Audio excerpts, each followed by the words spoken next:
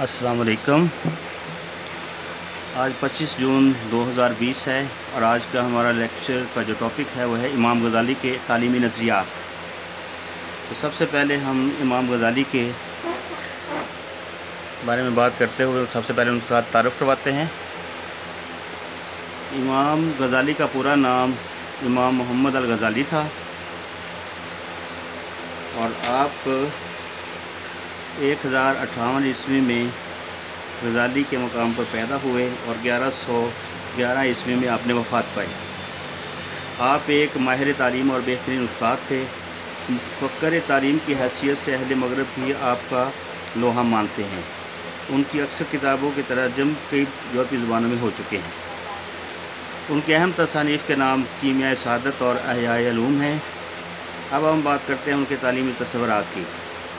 इमाम गज़ाली के नज़दीक हकीकत तक रसाई तालीम के बगैर मुमकिन नहीं है। यानी अगर इंसान हकीकत तक रसाई हासिल करना चाहता है तो उसके लिए ज़रूरी है कि वह तालीम हासिल करे।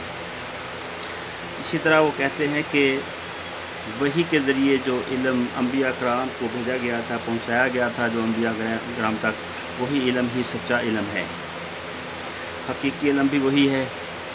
और इसी तरह अक्ल जो है, ये इलम का मंबा है। और अक्ल इंसान के अंदर गौर व फ़िक्र का मादा पैदा करती है। अल्लाह ताला ने इंसान को तालीम के ज़रिए कायनात को मुसफ़र करने की सलाहियत दी है। इंसान की सबसे बड़ी फजीलत भी इलम ही है। इलम में बेपना क़वत है यह साकर नहीं, बल्कि रवा दवा है, जिसमें हर लम्हा इजाफ़ा होता रहता है। इंसान इससे कायनात के नए असरार रमूज तक रसाई हासिल करता रहेगा। इलम की वजह से ही इंसान इंसानियत के दर्जे पर फायज है। इसी तरह इलम और ईमान दोनों आपस में लाजम व मलजूम हैं। इलम की इकसाम भी उन्होंने बयान की हैं।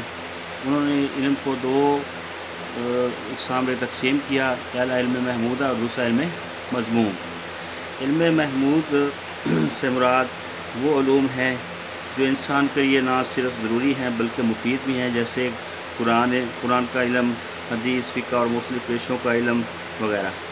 और इसी तरह इमाम गजाली ने इनको नाम भी दिया है, इल्म महमूद का।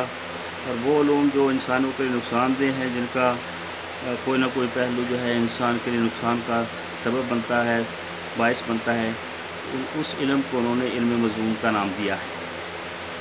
अब हम बात करते हैं इमाम गजाली के मकासद तालीम की। इमाम गजाली के नज़दीक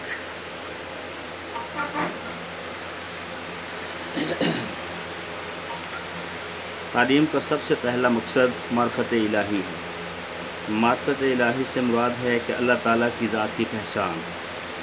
इमाम गजाली के नज़दीक इंसान उस वक्त तक ज़ात बारी ताला की पहचान हासिल नहीं कर सकता, जब तक वो अपनी दीनी तालीम, बिलखसूस पुरानी तालीम तक रसाई हासिल ना करे और उसके साथ साथ दुनियावी ूम भी हासिल करता रहे।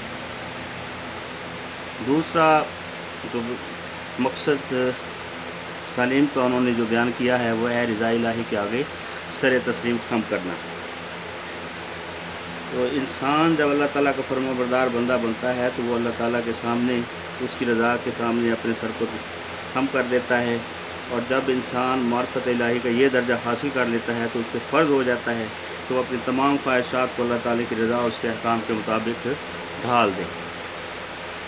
इसके बाद है उनका तालीमी मकसद तालीम में तीसरे नंबर पर अखलाक इकदार का फ़रोग।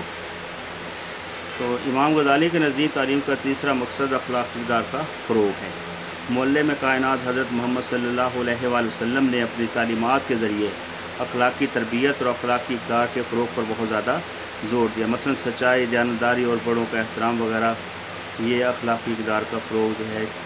इसका मकसद है तालीम तालीम का यही मकसद है।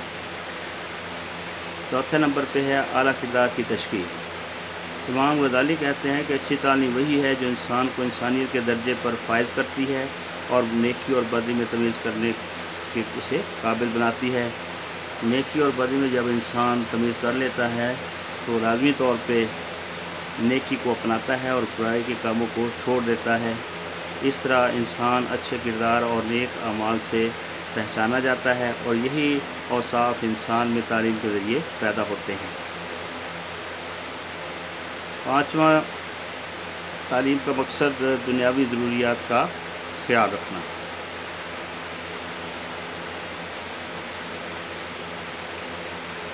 सबसे पहले हम पढ़ते हैं, चौथा, ये अलग किरदार की तश्कील है।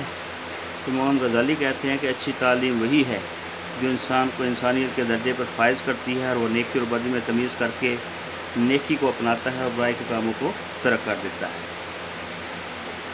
और पाँचवें नंबर पर दुनियावी ज़रूरियात का ख्याल रखना। इमाम गज़ाली रहमत के नज़दीक तालीम का मकसद दुनियावी ज़रूरियात को पूरा करना भी है।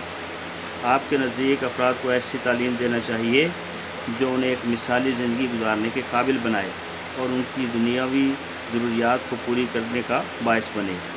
इसीलिए आप दीनी ूम के साथ साथ दुनियावी ूम सीखने पर भी ज़ोर देते हैं। तस्खीर कायनात। इमाम गज़ाली रहमत ने इस्लामी तालीमत की रोशनी में कायनात के असरार रमूज को जानना और बनी नो इंसान के लिए उन्हें काम मिलाना तालीम के लिए का एक इंतहाई अहम मकसद करार दिया है। तो आज के इस लेक्चर में हमने इमाम गजाली के मुतालिक पढ़ा कि उनके तालीम के बारे में नज़रियात क्या थे, उनकी अहम तसानीफ क्या थी, उनके मकासद, तालीम उन्होंने जो है ना क्या बयान किए हैं। तो नेक्स्ट इन हम इमाम गजाली ने जो निसाब तालीम हमारे लिए तलबा के लिए मुंतब किया था, वो हम पढ़ेंगे और इसी तरह तरीक़ा तदरीस जो उन्होंने बयान किया है वो पढ़ेंगे। ओके अल्लाह हाफिज़।